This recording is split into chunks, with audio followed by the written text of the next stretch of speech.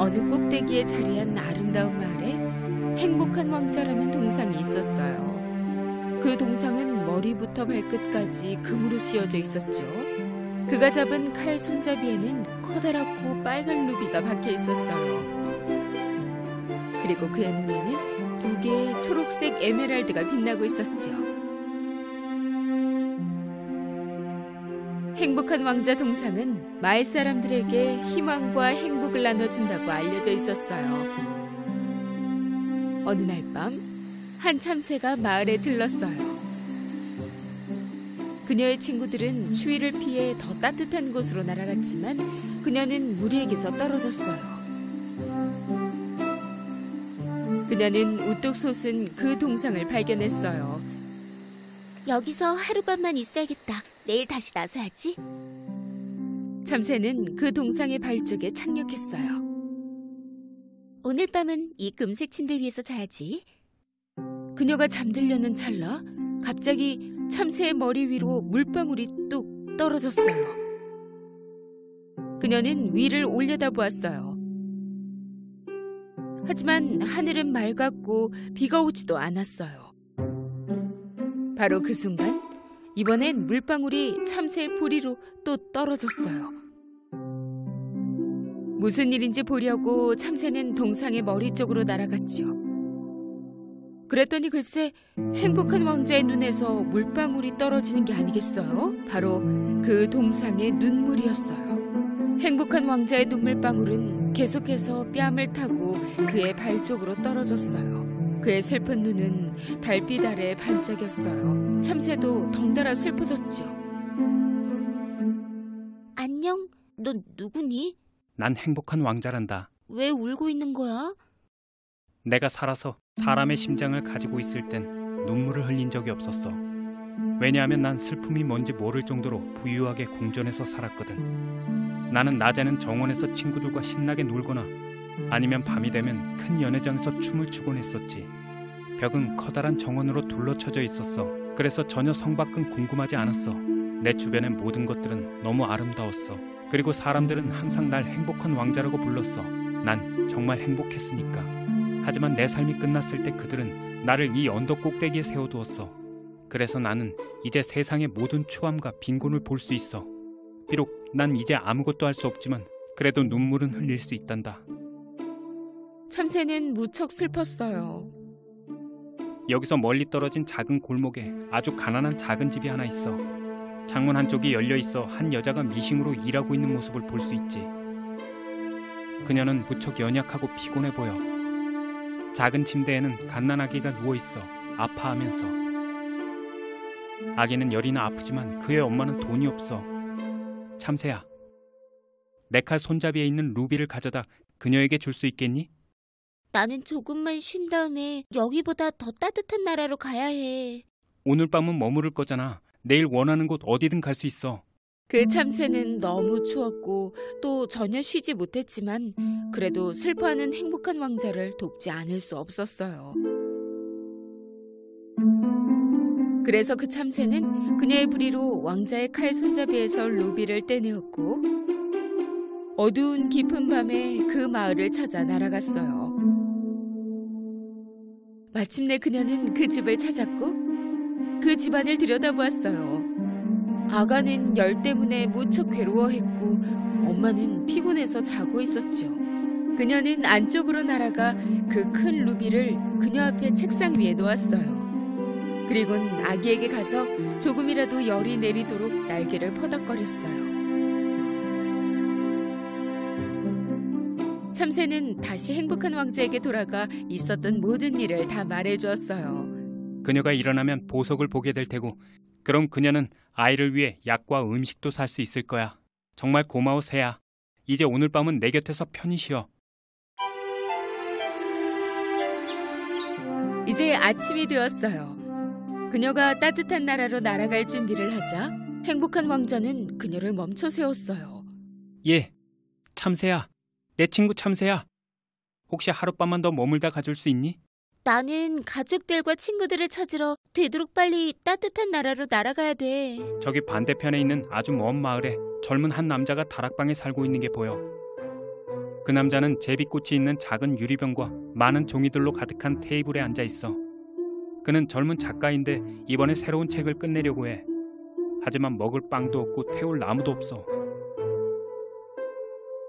그를 좀 도와주지 않을래? 착한 마음씨를 가진 그 참새는 하룻밤 더 그 작가를 위해 머물러 주기로 했어요. 안타깝게도 난 이제 루비가 없어. 하지만 내 눈은 에메랄드라고 불리는 아주 귀한 보석이지. 하나를 떼어내 그 작가에게 가져다 줘. 왕자의 말을 듣고 참새는 무척 슬퍼졌어요. 처음에는 그 참새도 반대했지만 그 왕자가 계속 설득하여 선택의 여지가 없었죠. 그래서 그녀는 부리로 에메랄드를 꺼냈어요. 그리고 그녀는 행복한 왕자가 말한 그 집으로 날아갔어요. 그녀가 도착했을 때 젊은 남자는 쉬지도 않고 앉아서 손으로 얼굴을 감싸고 있었어요. 그는 새가 날개를 펄럭이는 소리도 듣지 못했죠. 그는 고개를 들어 제비꽃 위에 놓여진 반짝이는 초록빛 에메랄드를 보게 되었어요. 그는 그의 글을 좋아한 팬이 두고 간 거라고 생각했어요. 그는 기뻐하며 에메랄드를 들고 일어섰어요. 이제 작별 인사를 할 시간이야. 착한 참새야, 혹시 오늘 하룻밤만 더 머물러 줄 수 없겠니? 이제 거의 겨울이야. 곧 눈이 올 거라고. 난 정말로 가야 돼, 왕자야. 나 정말 가야 돼. 그치만 정말 널 잊지 않을게. 근데 정말로 딱 한 가지 소원이 있어. 제발 이거 하나만 부탁해. 광장 아래 보면 성냥을 파는 작은 소녀가 있어. 근데 그 성냥들이 모두 물에 빠져 다 젖어버렸단다. 이제 그 소녀는 집에 가져갈 돈이 없어. 그 소녀의 아버지는 무척 화를 내고 그들은 오늘 밤 굶겠지. 소녀는 지금 울고 있어. 그녀는 모자는 물론이고 신을 신발도 그리고 양말도 없단다. 내 나머지 눈을 가져다가 그녀에게 줘. 그럼 그들은 나아질 거야. 이 이야기를 들은 참새는 하룻밤 더 머물기로 마음을 먹었어요. 알겠어. 하지만 난 너의 눈을 뗄 수는 없어. 그럼 넌 아무것도 못 보게 될 거야. 내 주변에 도움이 필요한 굶주린 사람들을 보는 게 더 마음이 아파. 내 말대로 해줘. 부탁해. 그의 나머지 한쪽 눈을 떼낸 참새는 날아가기 시작했어요. 그녀는 천천히 날아 그녀의 옆으로 가서는 그녀의 손에 에메랄드를 떨어뜨렸어요. 그 소녀는 어머나 너무나 예쁜 유리 조각이야 라고 기뻐하며 집으로 달려갔어요. 행복한 왕자 옆으로 다시 돌아온 그 작은 참새는 이렇게 말했어요. 이제부터 너의 곁에 남아 네 눈이 되어주기로 결심했어. 그 왕자는 참새가 온 마을 날아 무슨 일이 일어났는지 그에게 알려주도록 했죠.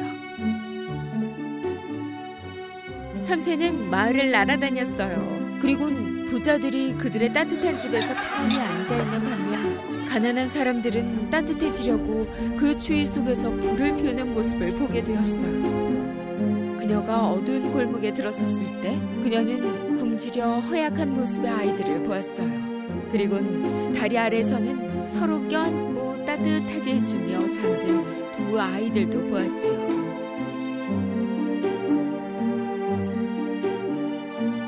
참새는 왕자에게 돌아와 자기가 본 것을 말해 주었어요. 나는 금으로 덮여져 있어. 이것들을 벗겨내서 그 가난한 사람들에게 가져다 줘. 그들은 금이 있으면 행복해질 거라고 생각하겠지만 사실 건강하고 만족하는 게 행복하게 하지. 왕자가 약하고 비참해 보였지만 그래도 참새는 그의 동상에서 금을 벗겨내기 시작했어요. 그리곤 길에 있는 가난한 사람들 모두에게 금을 나눠 주었지요. 그러는 사이 눈이 오기 시작했어요. 길은 금세 눈으로 덮였죠. 그 참새는 왕자의 동상에서 금이 모두 사라질 때까지 계속 벗겨내어 매일 밤 가난한 사람들을 도와주었어요. 몸이 약하고 작은 그 참새는 얼어버릴 것만 같았죠. 하지만 그 왕자를 홀로 남겨둘 순 없었어요. 그녀는 그를 진심으로 사랑했어요. 하지만 그녀는 곧 죽을 거라는 걸 알았죠. 그녀는 마지막 한 조각 남은 힘으로 왕자의 어깨에 날아갔어요. 안녕, 내 왕자님. 내 친구야. 이제 정말 따뜻한 나라로 가기로 결심했구나.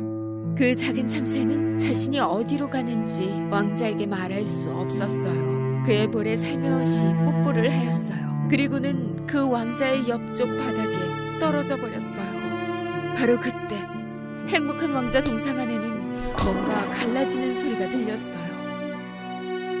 나무로 만들어진 그의 심장에서 나는 소리였어요. 아침이 되자 행복한 왕자 동상 주변으로 사람들이 몰려들었어요. 그들은 놀라워하며 그 동상을 바라보고 있었지요. 그리고는 그 왕자의 발 옆에 누워있는 차갑게 식어버린 참새를 보았어요. 모두 다 슬퍼하고 있는데 한 남자의 소리가 들렸어요. 바로 그 젊은 작가였답니다. 이제서야 이 행복한 왕자가 왜 이런 모습을 하고 있는지 알겠어요. 그와 참새는 우리의 행복을 위해 그들을 희생한 거예요. 그러니 여러분 행복하세요. 슬퍼하지 마세요. 이 마을에서 가장 아름다운 두 개의 심장은 그들의 심장이었어요. 그것은 영원토록 함께할 것입니다.